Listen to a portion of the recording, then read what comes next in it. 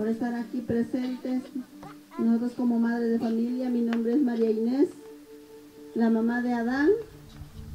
Este, pues nosotros aquí andamos, ahora sí que en cada comunidad donde nos invitan a que vengamos a alzar la voz para hacerles ver lo que estamos pasando en, en la ciudad de Tizla, en la Escuela Normal Rural de Yoxinapa, sobre nuestros hijos.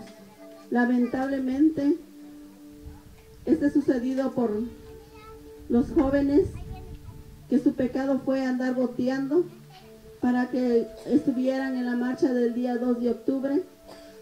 Tuvo que suceder la desaparición de 43 normalistas y tres caídos y otros tres que están de gravedad. Donde quiera que nos hemos plantado, pues nos ha atacado con su fuerza militarizada, sus fuerzas federales, sus antimotines y toda esa clase de policías. Pero pues nosotros no, no podemos quedarnos sentados a estar esperando lo que el gobierno quiera hacer por nosotros. Nosotros queremos luchar por nuestros muchachitos para que regresen a su escuela, porque es media generación de la escuela y necesitamos su ayuda de ustedes para estar unidos, para seguir en esta lucha y las demás que vengan.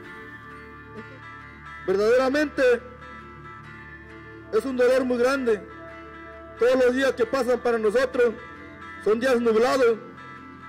No podemos salir de este bosque de impunidad que hay aquí en México.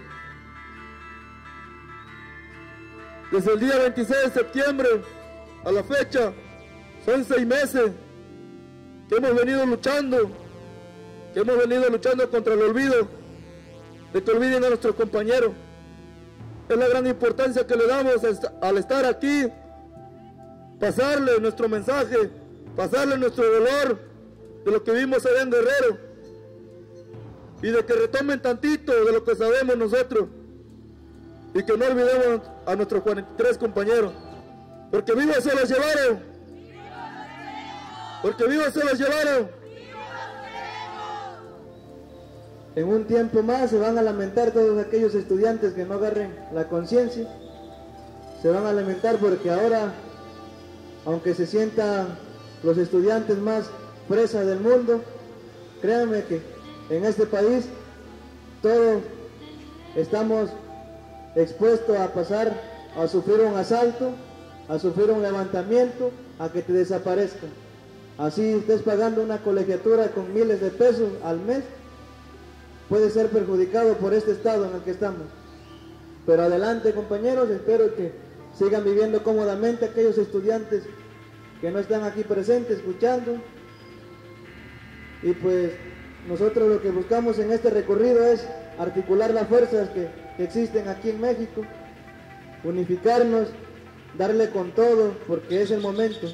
Tenemos aprovechar lamentablemente la coyuntura de los hechos ocurridos el 26 de septiembre para organizarnos, para así pues darle a este gobierno como lo, dicen varias tías, madre de familia, pues en la madre, pues en qué más se le puede dar al gobierno, más que en eso. Porque simplemente así no vamos a lograr nada. Estamos viendo, llevamos seis meses de la desaparición forzada de nuestros compañeros, con marchas, queriendo pedir audiencia ante, ante gobernación, ante la, el ex procurador este, Jesús Murillo Caran, pedíamos audiencia y nunca nos daba audiencia, nos negaba totalmente, nos hacía a un lado. Y pues eso, no puedes pedirle justicia a un gobierno que ocupa las leyes a su favor. Eso va a ser imposible que te dé la justicia. Tenemos que hacer justicia como pueblo, pero ¿cómo? Organizándonos. Israel Jacinto Lugardo. ¡Vivo! Jesús Giovanni Rodríguez Tratempa. ¡Vivo! Jonás Trujillo González. ¡Vivo! Jorge Álvarez Nava. ¡Vivo! Jorge Aníbal Cruz Mendoza. ¡Vivo! Jorge Antonio Antizapa Dividenio. ¡Vivo!